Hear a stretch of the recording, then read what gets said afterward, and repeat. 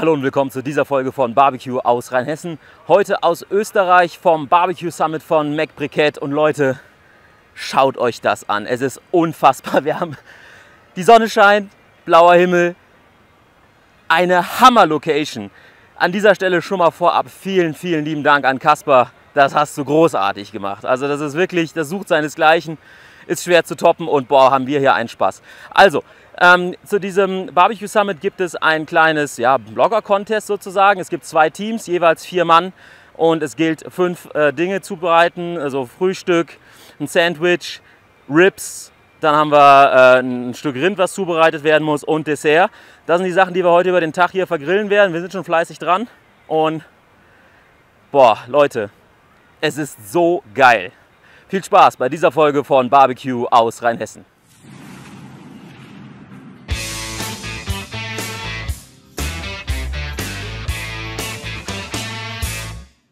So, jetzt stehen wir also hier in der Küche und neben mir Christoph Grabowski. Und er hat gerade eben für uns ein kleines Zerlegeseminar gegeben. Und ähm, ich habe für unser, ja, für unser Blogger-Battle oder für diese Team-Battles, die morgen stattfinden, habe ich ein Stück Fleisch reserviert. Ich möchte ein Pulled Beef hier machen. Und das ist das Stück hier. Ja. Wo haben wir es genau her? Ja, das Stück kommt jetzt aus der Schulter. Wir haben natürlich jetzt gerade in dem Zerlegeseminar äh, klar und deutlich gezeigt, welche, mit was für, ein, was für Stücke wir aus der Schulter grillen können, äh, zerlegen können. Wir haben die, die Buchstück genommen, wir haben den Las Vegas Cut genommen, das ist der Schulterdeckel. Wir haben ähm, das, äh, das falsche Filet zerschnitten. Halt's mal gerade hoch, damit man ja, sehen kann. Teres Major. Und dann bleibt natürlich oben an dem Stück ein schönes Stück fertig. Und so habe ich das dann auch so beschnitten, dass du morgen in vernünftige Qualität, wie du es auch immer gerne machst, ein genau. Cool Briefing kriegst. Genau, also wir werden das also, so. Das Stück würde man normalerweise im Gehackten schneiden. Das ist also ein Produkt, was wir gar nicht in, in dem Laden finden würden. Ne? Ja, also wir werden das tatsächlich so aufrollen und äh, vorher werde ich es gleich aber noch würzen. Und ähm, das ist halt erstmal im ersten Bild, wenn man sich so anschaut, ein ziemlich zerfleddertes Stück. Ich kann das auch mal so als zerfleddert hochhalten. Ähm, das muss ja nicht so bleiben. Wie gesagt, wir können uns das ja so zusammenrollen, wie wir wollen. Es kommt auf den Smoker drauf und wird halt den ganzen Tag auf dem Smoker drauf liegen. Das heißt, wir können es eigentlich auf den Kopf stellen, wir werden es weich bekommen. Ja? Von daher kann man also auch solche Stücke einfach wunderbar verarbeiten. Ja, aber das Schöne ist ja, dass wir hier das, diese Fettstrukturen und wir haben auch hier Fleischstrukturen, die richtig sehr, sehr zart, sehr, sehr zart sind, wenn man das mal hier allein in diesem Bereich sieht. Ja, ein bisschen höher halten, dann. Ja, ein bisschen ja. höher haben wir hier ein bisschen in dem, im mageren Bereich. Dann haben wir hier natürlich die leichte Fettstruktur, sodass es ein Pull Beef ist. Ein Pull Beef darf ja nicht mager sein, es muss von der Struktur nicht sehnig sein. Genau. Und wir befinden hier so gut wie keine Sehne. Wir haben hier nur das Fett und das Magerfleisch. Ich bin überzeugt, dass der Jörn da morgen wieder ein sehr delikates Produkt herauszaubert. An dieser Stelle erstmal vielen Dank, Christoph. Also, das hier ist also das Stück Fleisch, welches ich nun ausgebreitet habe. Und würzen will ich das also heute Abend schon und habe dafür hier meinen Royal Flush Rub liegen. Und davon geben wir jetzt einfach auf die Innenseite ordentlich was drauf.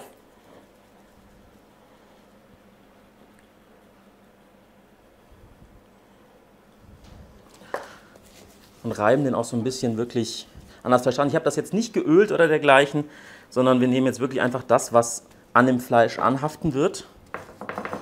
Deswegen halt auch einfach mal kurz ein bisschen andrücken.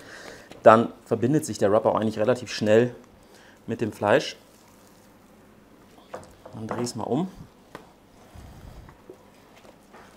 ihr könnt sehen, also das ist, letzten Endes ist das wirklich wie so ein, ja, fast ein Quadrat. Ne? Und da schauen wir dann, dass wir uns da dann ein entsprechendes Päckchen draus machen.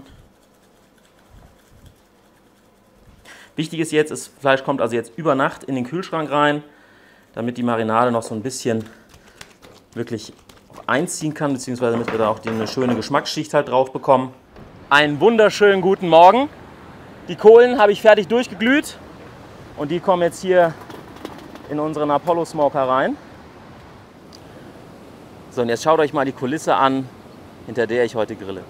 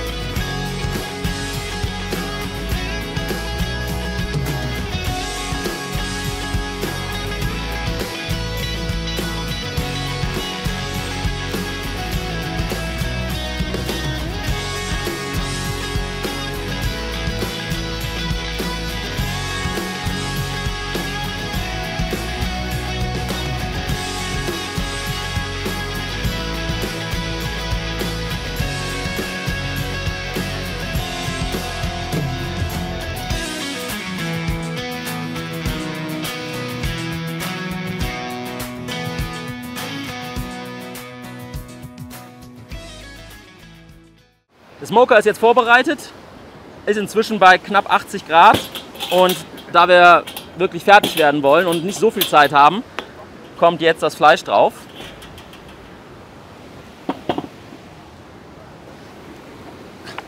Hier ist der Batzen, der drauf kommt, ist also eine ganze Menge an Fleisch.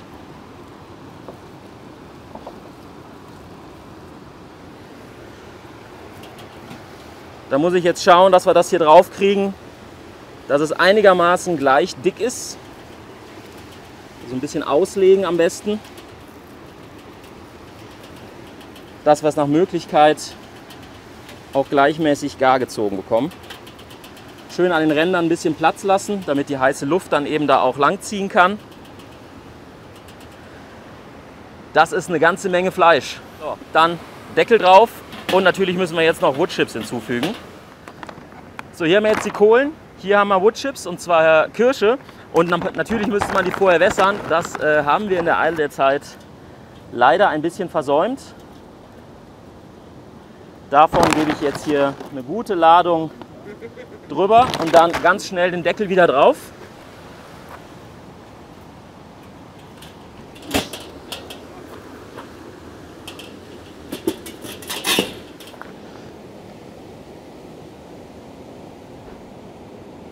Und jetzt lassen wir das Fleisch schön räuchern.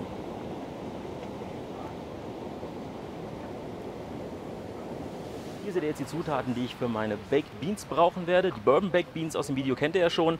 Ich habe jetzt heute nur hier Scotch zur Verfügung, deswegen werden wir das Ganze mit Scotch machen, soll dem Ganzen keinen Abbruch geben. Ähm, weiße Bohnen, Kidneybohnen, braunen Zucker, Paprika, Zwiebeln, Senf, Apfelsaft, Apfelessig. Das sind die Zutaten, die ich habe. Später, wir haben ja das Pulled Beef noch auf dem Smoker liegen. Das hat inzwischen eine Kerntemperatur von schmucken 87 Grad. Wir haben es in Alufolie eingeschlagen, sonst hätten wir es zeitlich einfach nicht mehr auf die Reihe bekommen. Wenn das dann gleich 95 Grad hat, nehmen wir es runter, lassen es ruhen und werden es dann, dann, wenn wir es brauchen, halt zerrupfen. Und das werden wir dann auch wieder mit in die Bohnen mit reingeben. Und Leute, das wird, das wird eine richtig geile Nummer. Gut, ich schneide jetzt die Paprika klein und die Zwiebeln. Legen wir los. Legen wir los mit dem Paprika. Da wie immer oben und unten abschneiden. Der Strunk kann direkt weg. Gerade meldet sich unser Pulled Beef. Es hat 90 Grad Kerntemperatur erreicht. Ja, Papa ist da. Alles gut. So, und dann einfach hier an der Seite reingehen mit dem Messer.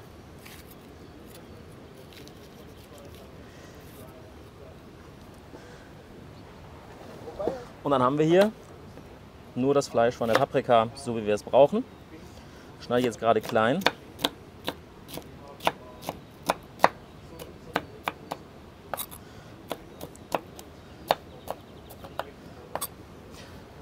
Falls jetzt gerade welche wundern, normalerweise habe ich auch immer diese schwarzen Handschuhe an.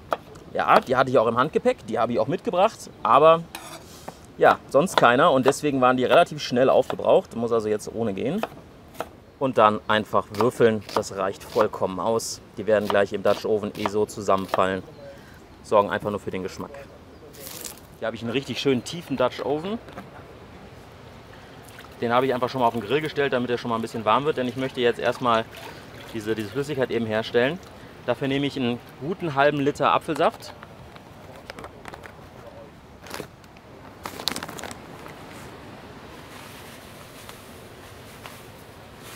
Knappe 200 Gramm braunen Zucker.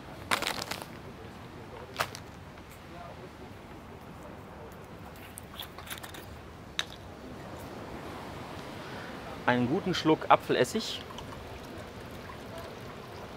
Ich denke mal so knappe 100 Milliliter dürfen es sein, also ist es ein sehr guter Schluck.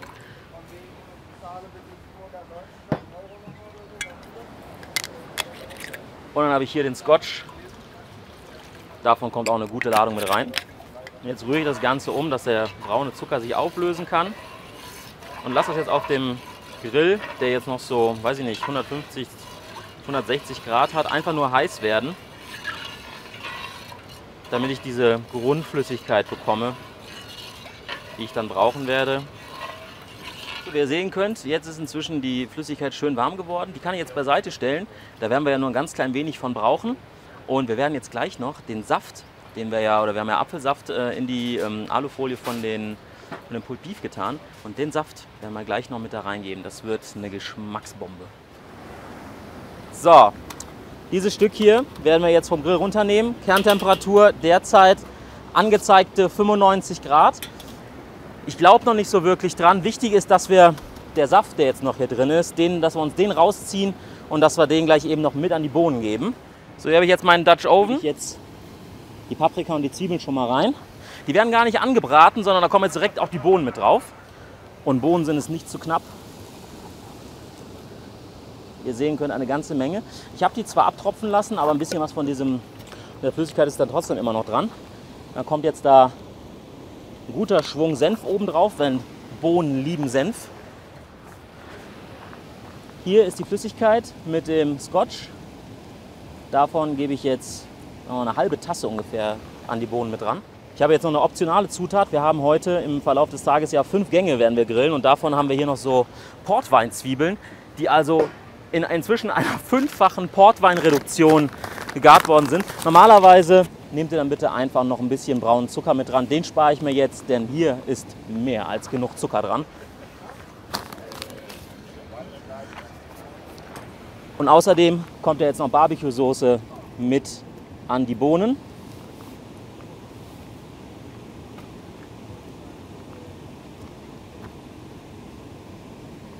Jetzt rühren wir das Ganze schon mal so ein bisschen durch, dass auch der Senf sich so ein bisschen verteilen kann.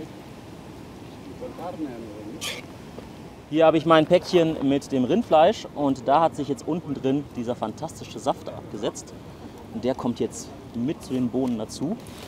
Und das werden wir jetzt mal gucken, ob wir es klein schneiden, Polen, was auch immer. Leckere Sache. Ich habe mir gerade vom anderen Team den Dutch Oven Deckel geklaut. Da sind nämlich noch ein paar Kohlen drauf und der ist heiß. Setze ich da jetzt einfach mal kurz drauf und dann schauen wir uns das Fleisch jetzt mal an. Hier ist also unser Rindfleisch. Wir haben eine extrem dicke Alufolie drum. Ich versuche es mal gerade da raus zu friemeln.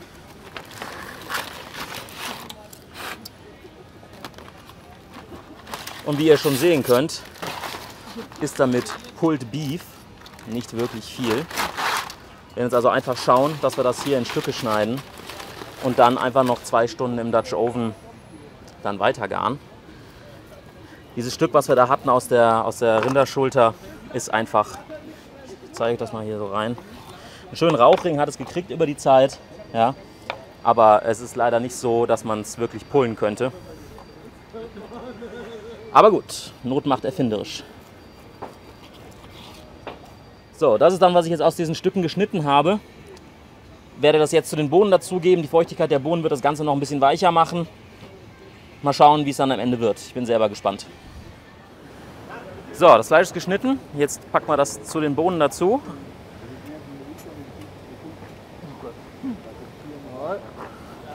So, wie ihr sehen könnt, die Bohnen haben jetzt auch schon ein bisschen Fahrt aufgenommen. Das ist ja vollkommen richtig so. Und die riechen jetzt eigentlich schon ganz schön lecker, aber die brauchen halt jetzt eben noch so gute anderthalb Stunden. Das ist die Zeit, die wir noch haben. Und hier ist das Fleisch. Und das gebe ich jetzt eben zu den Bohnen mit dazu.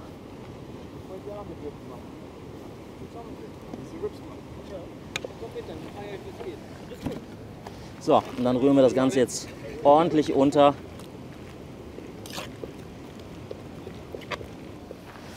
Hier habe ich noch ein bisschen von der Flüssigkeit mit dem Apfelessig, dem Apfelsaft und dem Bourbon, beziehungsweise dem Scotch. Und jetzt packen wir den Deckel wieder drauf. Die reizende Assistentin kommt. Genau, meine reizende Assistentin Johannes. Und dann kommen jetzt oben drauf ein paar durchgeglühte Briketts. Und dann lassen wir das Ganze jetzt mal kurz auf die Uhr schauen. Wir haben jetzt noch genau 87 Minuten und dann lassen wir das Ganze jetzt also noch 80 Minuten im Dutch Oven schön vor sich hin köcheln. Der Geruch ist schon mal gut. Wenn es nur halb so gut schmeckt, sieht es nicht ganz so schlecht aus für uns. So, nach inzwischen guten anderthalb Stunden habe ich den Deckel zumindest schon mal von den Kohlen befreit und nehme ihn jetzt mal runter. Und schnapp mir einfach mal direkt so ein Stück von dem Fleisch hier. Und kann euch sagen, man muss einfach auch in aussichtslosen Situationen einfach mal Glück haben. Es ist zart. Paul gesagt, es war nicht aussichtslos, er hat immer dran geglaubt. Und er hat recht behalten, Leute, das Fleisch ist zart. Und der Geschmack von den Bohnen mit der Soße ist trotzdem, dass es jetzt Scotch ist und kein Bourbon, ist der Hammer. Also, das werden wir jetzt gleich anrichten. Und ähm, dazu, ich schwenke mal gerade rüber, Pogge macht da gerade eben, der Künstler macht hier gefüllte Kartoffeln. Da ist auch noch mal was von dem Fleisch drin. Ähm, Camembert-Käse, was haben wir noch drin? Äh, Camembert-Käse, das Fleisch und den Rub, das war's. Und noch ein bisschen Gewürz. Also das ist das, womit es dann zusammen serviert werden wird. Und ähm, ja, das Servieren seht ihr gleich auch, beziehungsweise das Anrichten. Und ja, ich bin jetzt im Nachhinein doch ziemlich zufrieden, was wir aus dem Fleisch gemacht haben, denn dieses Fleisch war nur 14 Tage abgehangen. Das ist für Fleisch viel zu wenig. Ja, also das war nicht vorprogrammiert, dass es schief geht, aber es war auf jeden Fall ein Versuch wert und der dann, wenn man es so macht, auf jeden Fall funktioniert. Ansonsten achtet darauf, dass das Fleisch ordentlich abgehangen ist. So, jetzt richten wir an. Und so gehen die Teller jetzt an die Jury raus. In der Mitte also die Kartoffel gefüllt mit dem Fleisch und dem Camembert-Käse. Obendrauf ein Oregano-Blatt und drumherum eben dann die Bohnen mit dem im Dutch Oven fertig gezogenen Fleisch. Vorher eben 10 Stunden auf dem Smoker gewesen. Dazu einfach noch ein bisschen angeröstetes Brot mit Olivenöl. Das ist es. Und ich bin gespannt, ob die Jury auch so begeistert ist wie wir, weil der Geruch von den Bohnen ist der absolute Knaller. So, da ist es also die erst gesmokte und dann im Dutch Oven fertig gegarte Rinderschulter mit Baked Beans und zwar Scotch Baked Beans diesmal. Der Hammer. Ich weiß, das ist kein Gericht für mal eben zwischendurch, das Thema hatten wir gerade eben auch schon, aber es ist lecker. Ja, ich brauche es nicht zu probieren, ich habe gerade schon probiert, ich weiß, es ist der Knaller und ich bin der ziemlich sicher, dass die Jury das gleich auch so sieht. Ja, wie ihr seht, der Tag neigt sich so langsam dem Ende. Das Dessert werden wir jetzt gleich noch machen müssen. Aber da werden wir einfach einen Snickers auspacken und ein paar Obst, ein bisschen Obst drumherum packen. Es war ein fantastisches Wochenende. An dieser Stelle, Kasper, noch einmal. Ich habe schon tausendmal gesagt, aber ich sage es gerne nochmal. Vielen, vielen lieben Dank, dass du das hier auf den Boden gestampft hast. Es war ein Fest. Wir haben Glück gehabt mit dem Wetter. Gut, das kann man schlecht vorher wissen, aber das war überragend. Und ähm, eine tolle Truppe, tolle Gerichte, ein perfekter Tag. Also vielen Dank dafür. Ich hoffe, ihr hattet Spaß beim Zuschauen. Und ähm, wenn ihr mal viel Zeit übrig habt und äh, euer Metzger eine Rinderschulter nicht richtig abgehangen hat, dann äh, wäre das hier ein Gericht, was man daraus machen kann. Ähm, ich sage einfach bis zum nächsten Mal. Viel Spaß beim Nachmachen. Schenken wir uns heute. Also, vielen Dank fürs Zuschauen. Macht's gut. Euer Jan von Barbecue aus Rheinhessen. Bis dann.